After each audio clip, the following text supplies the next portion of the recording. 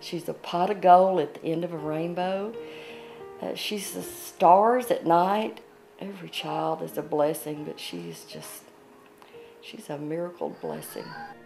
There's Monkey Man, Johnny. There was something wrong, but they didn't know in detail what it was.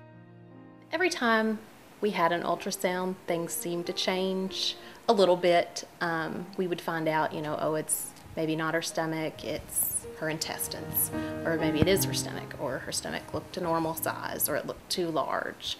Um, and we went through that the rest of the pregnancy. I'd gotten home one night, I noticed that she was not moving. So we called the doctor, went in for an ultrasound, and they hooked me up to the monitor. And they said that she was in distress. Her heart rate was very low and she needed to come out immediately. So we went upstairs.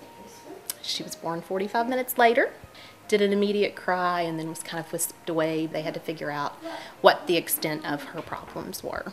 She was placed on a ventilator and transported to Kentucky Children's Hospital that evening. We went in to see her, and it was at that time that we were approached by um, two of the doctors there at UK. Uh, they sat down with us and pretty much said within the next hour they had to take Abby in. She was going in for a major, major surgery. So I begged them to get my wife over. Uh, doctor made a few phone calls and they were able to get Farah over before they took Abby away.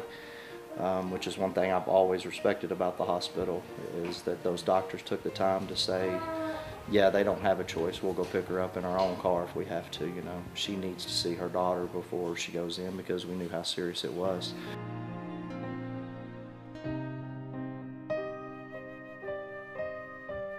Right about a month mark, they finally set us down and said that they had um, discovered what Abby had, and it was charge association. Her esophagus was attached to her trachea. Um, she did not have an esophagus. She had a blockage in her uh, intestines area. She had a blockage in her left nostril. She had loss of hearing in her left ear, partial deafness in her right ear. She had colobomas, which are blind spots on the eyes, um, and she had the heart defect. So that was sort of her main up and down. But you know, externally, you really couldn't see anything wrong with Abby. She really naturally looked like a gorgeous little girl. Fortunately for the UK Children's Hospital and the great work that they do, 70 days later we were able to take Abby home, and that was a miracle in itself. They started picking Abby up and they put her in my arms, and I just burst into tears, and I was like, just, oh my God, I'm getting to hold my baby. You know, it was just, it was undescribable. It was really undescribable. And I just held her close to me and kept telling her all those things I've been telling her when I hadn't been able to hold her.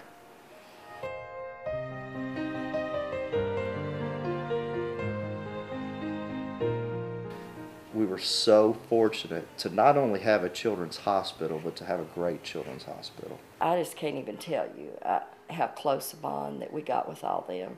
And we, we got so close, they would do, talking about the human side, Michael was always wanted Abby to be dressed with with the right colors on and just these little, and they would just do things like dress her in a pink hat and a blue shirt, just to antagonize Michael, to bring a smile to his face you know, it was the human part that I don't think we'll ever forget them. They're not nurses and doctors to us, a lot of them. I mean, a lot of them are just, they're true friends. It's our life.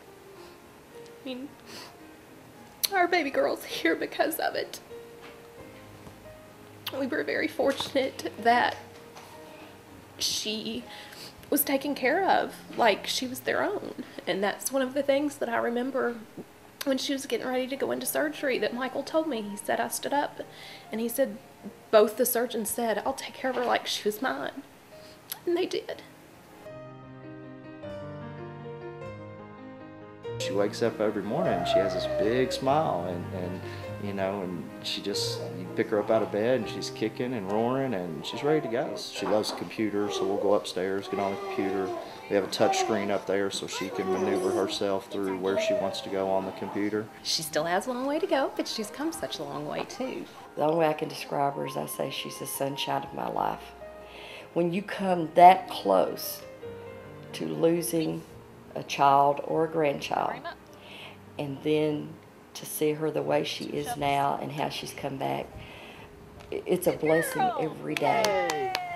And she's had some miraculous things that have happened to her. And she's here because of the Kentucky Children's Hospital.